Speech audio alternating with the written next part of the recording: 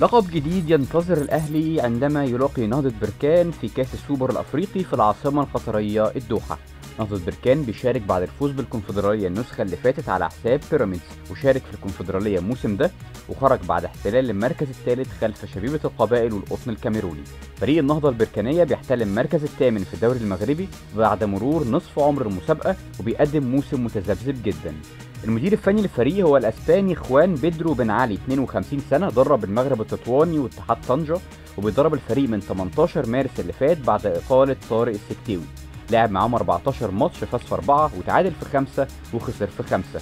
وضعه الفني في النادي غير مستقر حتى الآن وخوان بيدرو ما فازش بأي بطولة طوال تاريخه. الفريق ما فيهوش نجوم كتير بعد رحيل أبرز نجومهم زي لابا كوجو وسفيان كركاش وسمير ويدار أبرز نجوم الفريق الحاليين كلهم فوق ال 30 سنة. عمر نمساوي الظهير الأيمن 31 سنة. الأسطورة المغربية المهاجم محسن ياجور 35 سنة وهداف الفريق الموسم ده بسبع أهداف خلال 14 مباراة.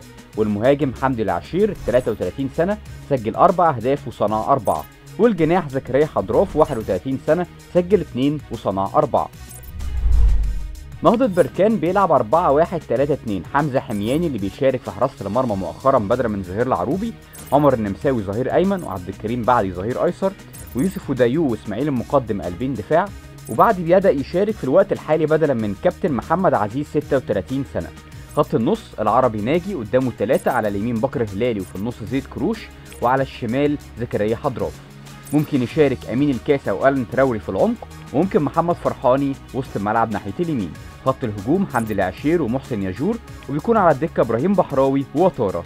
أحيانا في حالة عدم مشاركة العربي ناجي الفريق بيغير رسمه التكتيكي ل 4 3 1 2 مع دخول ألان تراوري أو فرحاني المركز 10 بس غالبا العربي ناجي هيشارك قدام الأهلي لأن الأهلي خصم قوي لتأمين الزيادة في وسط الملعب.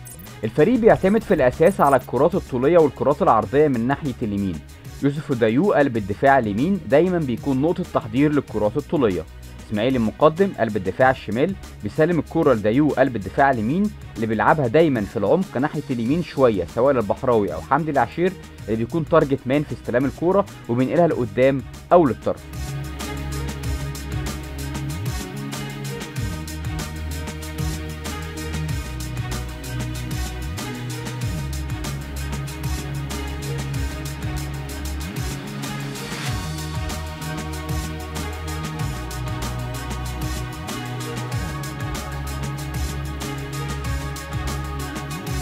أكتر مراوغات الفريق في آخر مربع في الملعب يمين وشمال مع زيادة نسبية ناحية اليمين وده يعني إن الفريق بيقدر يوصل ويراوغ كتير في الثلث الأخير من الملعب عن طريق حمدي العشير ناحية اليمين وزكريا حضراف ناحية الشمال.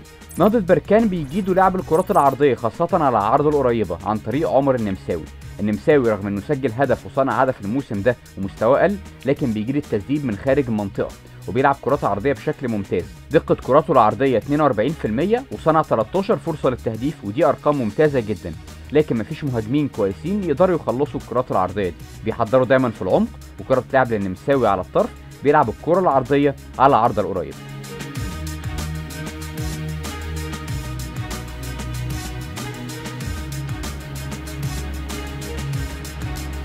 حمدي العشير بيبقى له أدوار في الدخول للطرف ولعب الكرات العرضية. لعب كرات عرضية كعدد أكتر من عمر النمساوي في آخر 10 ماتشات للفريق البركاني. حمدي العشير أكتر لاعب في الفريق مراوغات بنسبة 22% بيكون أغلبهم من ناحية اليمين. وفي نفس الوقت هو أكتر لاعب حصول على الكرات الثانية للفريق ب 15 كورة آخر 10 ماتشات. سجل منهم هدفين. وهو برضو أكتر لاعب في الفريق دقة محاولات على المرمى ب 50% بعديه ألان تراوري ووتارا. أول نقطة ضعف للفريق هي انخفاض اللياقة البدنية نظرا زي ما قلنا لمعدل أعمار اللعيبة المؤثرة في الفريق فوق ال 30 سنة وبينخفض أدائهم بشكل قوي جدا في الشوط الثاني فبالتالي المستوى الهجومي والدفاعي بيقل. وعدد التمريرات القصيرة بتقل وعدد الكرات الطويلة بيزيد جدا في الشوط الثاني على سبيل المثال عمر النمساوي عمل اللياقة بيقل عنده وبيأثر على تمركزه في الحالة الدفاعية ويقدر موسيماني يستغل النقطة دي عن طريق جناح الأهلي الشمال.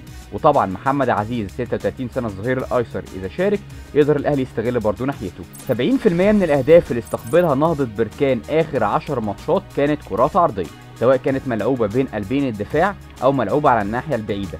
الفريق كارثي في الرقابة عموما وفي الكرات العرضية بشكل خاص ودي نقطة كويسة جدا لمصلحة الأهلي خاصة في الضربات الركنية أو الكرات الثابتة إذا اعتمد عليها موسيماني. نقطة الضعف الأخيرة اللي هنتكلم عليها هي العربي ناجي. العربي ناجي في حال مشاركته رغم إنه أفضل لعيب في استخلاص الكرة في الفريق بس هو لاعب عنيف جدا وسهل استفزازه. خلال 19 مباراة لعبها الموسم ده اتطرد مرتين. نهضة بركان منافس في المتناول بالنسبة للأهلي لكن العبرة في النهاية لمجهودك في الملعب خلال 90 دقيقة.